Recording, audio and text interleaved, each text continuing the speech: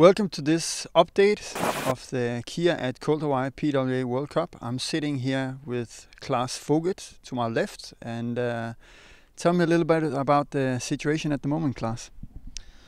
Well, I'm up here um, for about 10 days already, been training, getting ready for the World Cup, and uh, felt pretty good. And uh, we have a pile of boards here, so everything set up. And then in the last training session uh, two days ago, I got stuck with my foot in the back strap in a little sucky wave in the evening, and uh, that wave just took my board pretty unexpected and flipped it over and uh, broke one of my bones in the middle of my foot here. And uh, well, now it's pretty swollen. Everything I can do is just wait and see how the swelling goes. Um, it's the second metatarsal, so it's not.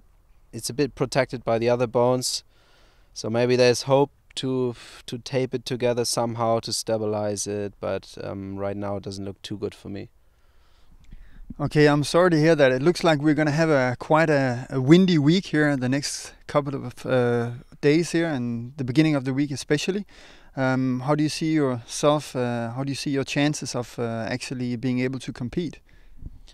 Well, right now I feel my foot uh, not really in the in the mood to compete to step in a foot strap on a windsurf board. Um, the the forecast looks amazing. That's what hurts me especially. Um, it looks like it's going to be southwest in the first day, even a bit south southwest, like almost cross offshore. The conditions I love, and uh, I try to to work as hard as I can, or to lift my foot to relax as hard as I can, um, to get the swollen the, the swollen part down and um, try to be able to compete. But right now, I think it's it's probably not going to work out. Um, I will see what the doctors say on uh, Sunday, Monday. Lars and, and Stefan Gobisch are here. They are orthopedic experts, and uh, they will take a closer look on Monday morning and tell me if I should try it or not. Now um, we were just inside just before we started this interview, and we had a look at uh, your your table inside and looked like you almost had a whole pharmacy sitting in there. Are you do you think that you'll be able to get pumped up so that uh, that will be able to take the pain away so you can actually start on Monday morning? Yeah, I guess uh, the guys are able to put the the to get uh, get me fine for the pain. Um, I just I'm just not sure if it will do my foot any good for the future.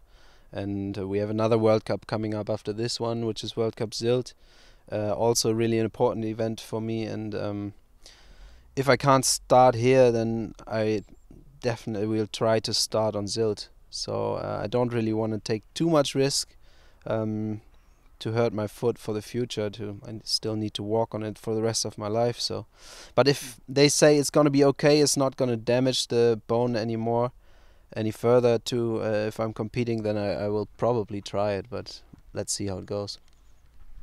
Yeah, well, as uh, as you said it yourself uh, just before the interview here, uh, Slater actually won a contest at uh, Topo, so maybe you'll be able to uh, do the same here in Klitmøller. Um, you've been coming to Klitmøller for quite a while, and you also know all the guys on tour here. Who do you think is going to be doing uh, well here in the contest? I guess uh, pretty much the guys we've seen up all year. Um, Philip Köster has been in the top form. He's been competing in Gran Canaria and uh, Tenerife on a different jumping level, and also in this wave riding, he really improved from last year. So he's going to be the man to beat. And then uh, for sure, Victor Fernandez, who's staying here with me.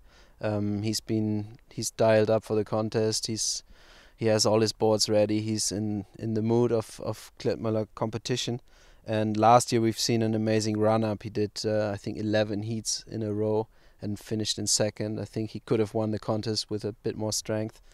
And uh, those two guys are probably hard to beat. And then there's other guys who are always up there, like uh, Kauli. Um, he will do good. He won it last year. Then uh, Brawzinho, he's also here already for a couple of days. And those guys are the guys to watch, I think. And uh, looking at the forecast, it looks like it's going to be a pretty amazing week here. Um, what do you think is in store for us uh, during next week? Do you think it's going to be uh, be a good contest? I'm pretty sure it's going to be a sick contest. Yeah, I mean the first day is going to start with really good wave riding. and then uh, the wind's gonna swing more west northwest. So I think we're gonna see some insane jumping like we've seen last year in the super sessions.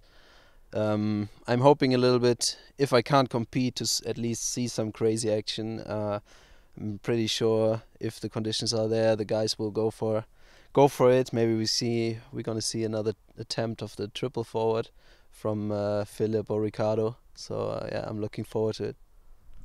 Cool. Um, so I guess uh, the general consensus is it's going to be an amazing week here in Klitmøller next uh, the next few days here, and uh, hope to see you guys all following it online. And I wish you uh, the best of luck with your injury and uh, for the contest Klaas.